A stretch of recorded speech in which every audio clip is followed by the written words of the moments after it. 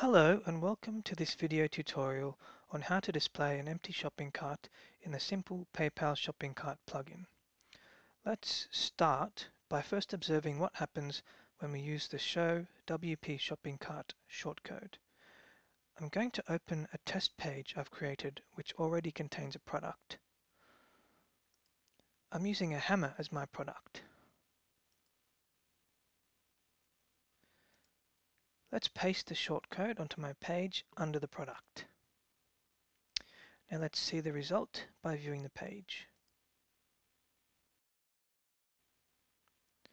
As you can see, since there are no items in the shopping cart, the shopping cart is not displayed. However, if I add a product to the cart, the shopping cart becomes visible. As soon as I delete the product from the cart, the shopping cart is no longer visible. Now, there is another shortcode available to use if you do want to display the shopping cart even when it is empty. Let's have a look at this now. Now let's edit the existing shortcode on the test page now by adding the word always followed by an underscore. Now this is the shortcode that displays the shopping cart even when it is empty. So let's update the page and view the results. As you can see, when the shopping cart is empty, there is a message here displayed saying your cart is empty.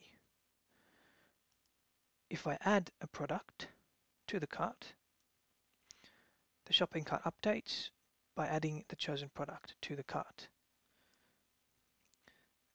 If I remove the product from the cart, again the message your cart is empty is displayed.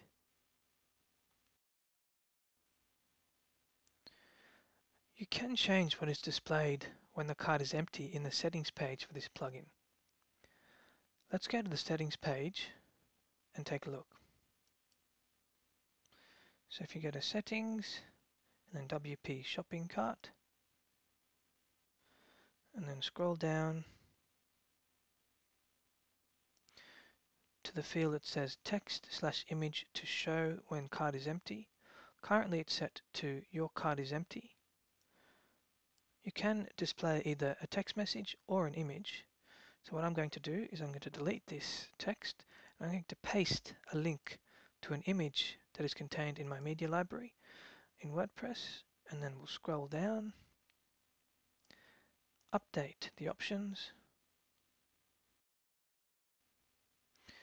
Let's look at the result.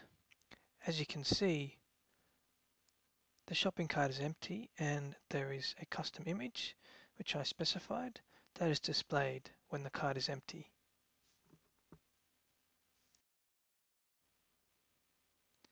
Now if I add a product to the cart,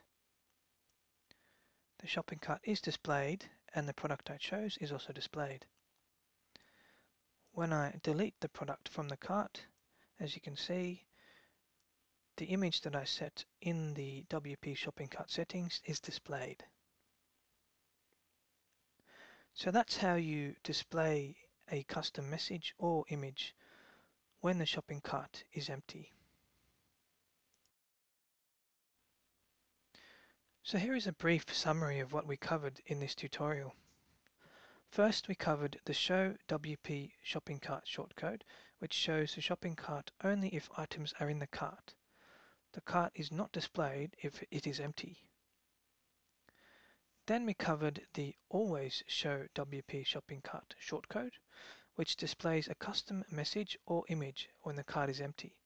The custom text or image can be configured in the plugin settings page. That concludes this tutorial. Thank you for watching.